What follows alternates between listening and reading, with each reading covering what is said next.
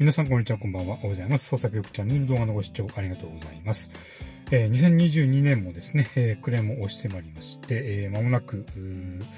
年を越すというところなんですけれども、えー、今年もですね、えー、アンライトセンターでの化石発掘の総括の方を、えー、やっていきたいなと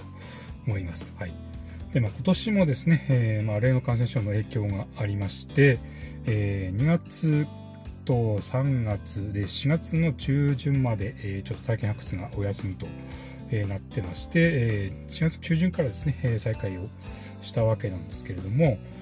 で、え今年はですね、えまあ、そもそもちょっと体験発掘1回戦がちょっと減っちゃいまして、えまあ、その中で、え取れたものを紹介していきたいなと思うんですけれども、まあ、今年の化石の傾向としては、まあ、去年は結構アンモナイト取れたんですが、まあ、今年はそんなにアンモナイトは取れなくて、えー、でちょっとね、えー、まあ、バラエティに富んだものがいろいろ出てきていまして、えー、まあ、それをねちょっと絡めて、え紹介したいなと思うんですけれども。はいそれでは早速第3位を発表したいと思います。第3位の化石はこちらです。はい。こちら、えー、こう、ちょっと湾曲したような感じの化石になってると思うんですが、まあ、アンモナイトの化石で、えー、ハイハンドスですね。はい。えー、これ、去年のランキングにも入ってたと思うんですけども、まあ、それと同じハイファントセラスで、ちょっとね、見にくいかもしれないんですけど、これ、えー、表面に若干こう、ポコポコという感じで、こう、突起が出てるのがわかるかなと思うんですけど、まあ、それと、去年取れたものとまあ同じものだとは思うんですけれども、まあ、それと比べるとちょっとまあ程度が悪いんで、まあ、没収にはならなかったものなんですけども、まあ、このトゲのある側ですねこちらの殻がちょっと剥がれちゃってて、えー、あまり程度は良くないんですけれどもまあ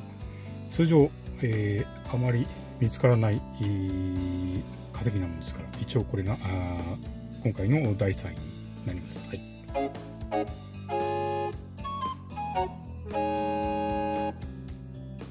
で、第2位が、こちらです。はい。こちらです。というのは、まあ、去年もありましたけども、今、こう、手元にない化石になりまして、え、まあ、こちらも、あの、アンモナイトの化石で、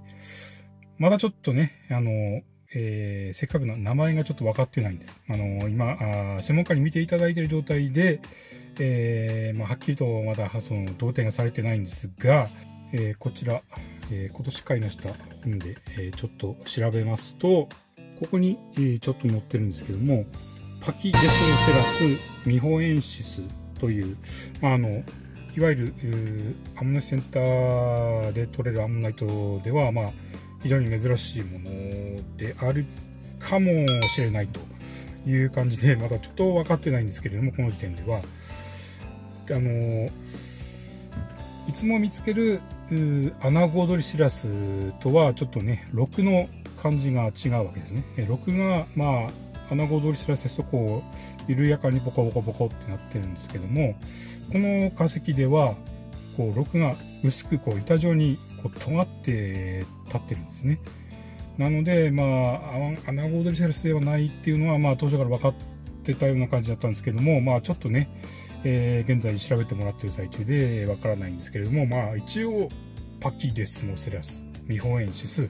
ではないかということですね。はい。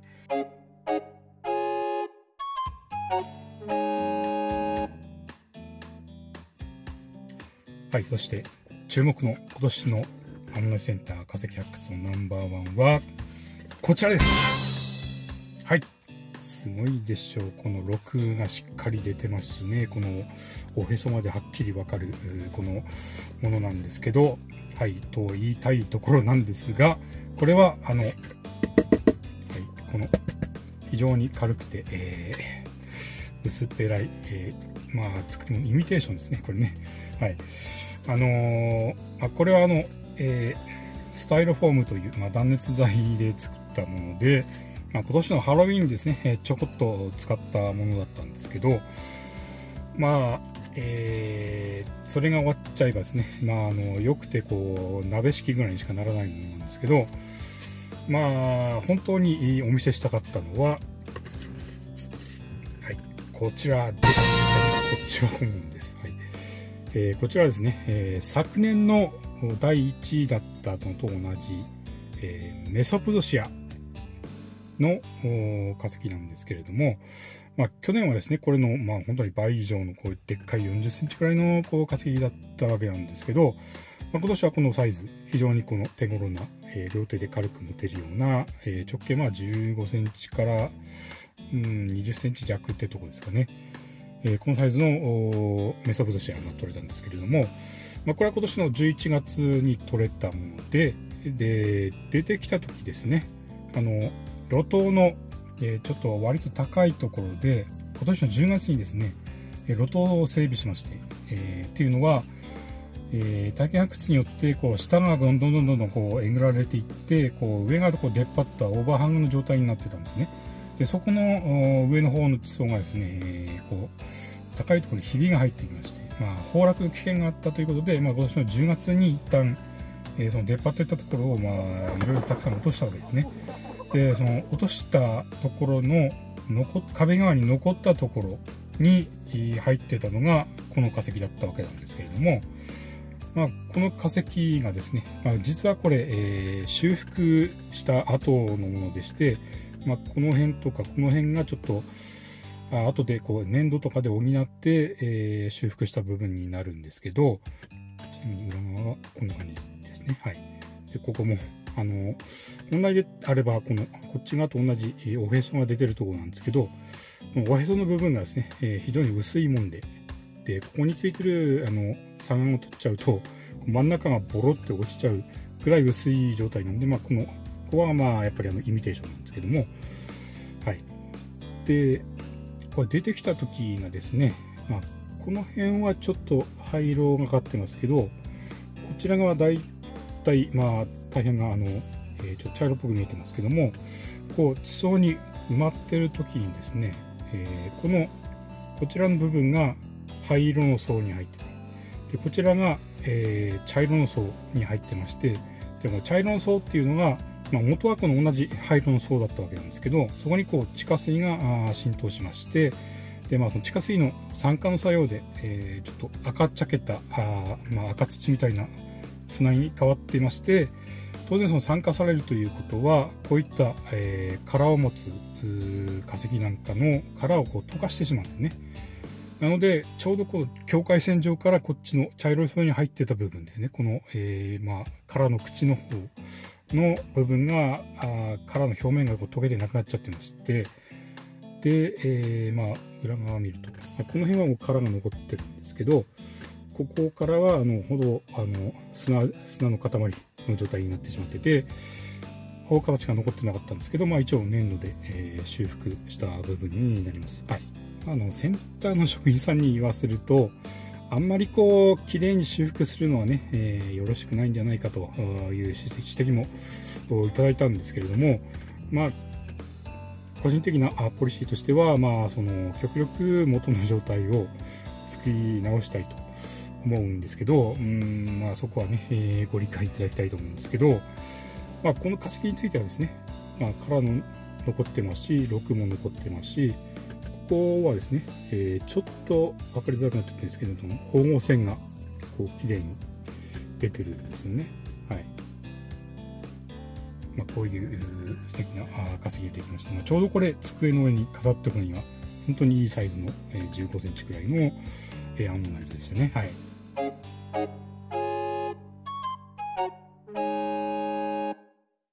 はい、というわけで今年のトップ3だったんですけれども、まあ、その他にもですね、ちょっと珍しい化石が出ておりまして、はい、例えばこちらなんですけども、ちょっと分かりますかね。一応これ丸い形で、まあ、こっち側はちょっと欠けてなくなっちゃってるんですけども、えー、こう横にするとちょっとこうすり鉢の形になってるんですけどこちらはですねあのおそらくサメの背骨の化石なんです、はい、であのサメっていうのは、えー、軟骨魚類なんですね、まあ、その骨格が、えー、非常にこう柔らかい、骨なので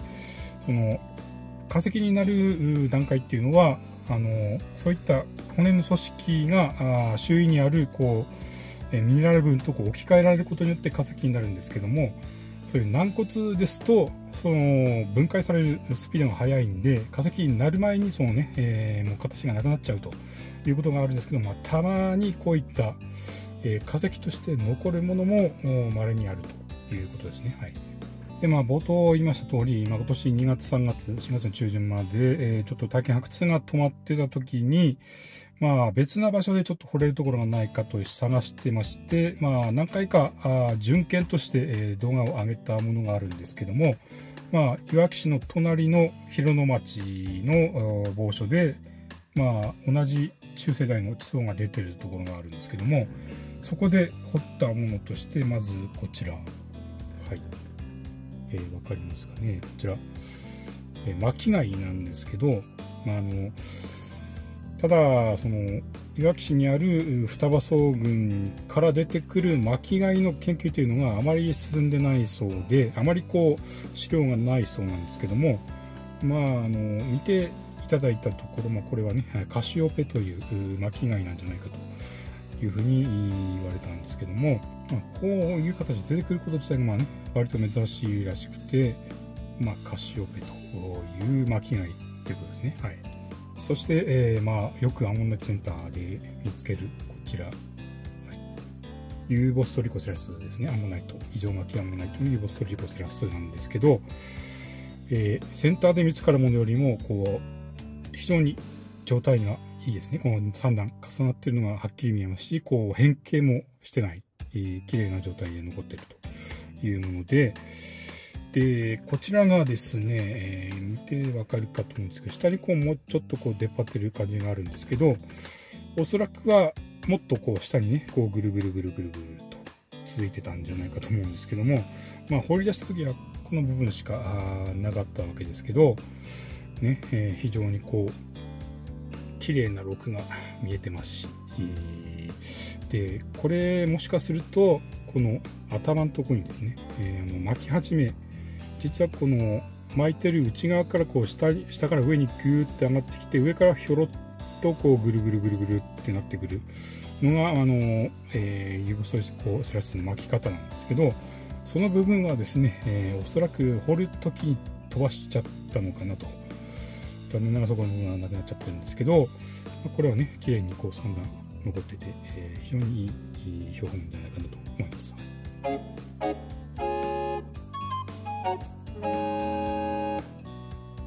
でまあ、ちょっと話を付け加えますと、えー、今年の、4月から6月にかけて、えー、福島県立博物館で行われましたこちらアンモナイト合戦という、え、企画展があったわけなんですけれども、えこちらの企画展にですね私の掘った化石の標本がですね、えありがたいことに展示していただきまして、え皆さんに見ていただいたんですけれども、まあ、実際自分も、えー企画展の方に行きまして、えー、まあ、その標本と、えー、久しぶりに再会したんですけれども、まあ、あの去年の4月に取れたものですね、はい、ユーボストリコスラスでこちらもまあまあ綺麗な標本だったわけなんですけれども、まあ、初めて、展示をしていただきまして、えまあ、ようやくですねミュージアムクオリティの化石を出すことができたということで、えまあ、今年も非常にいい経験になりましたね。はいでまあ、来年ですね、えーハモルセンター最初の体験発掘は1月の7日土曜日からということになってます。えー、あの1月1日日曜日なんですがセンター自体がまあ1日は休みになってしまうので、体験発掘は7日からということになります。はい、というわけで、えー、今年これが最後の動画になるかとは思うんですが、まあ、今年ですね、本当に投稿数がちょっと激減してしまいまして、えー、年間で20本くらいしか動画をちょっと上げられてなかったので、え、まあ、来年はですね、もっともっと動画をね、え、ちゃんと上げていきたいなと思っています。はい。でですね、まあ、今年はですね、チャンネル登録者1000人を超すことができまして、来年もですね、え ますます皆さんに見ていただける動画を撮っていきたいなと思っています。はい。というわけで最後まで動画のご視聴ありがとうございました。皆さん良いお年をお迎えください。そして、えー、また来年別の動画でお会いいたしましょう。それではまた。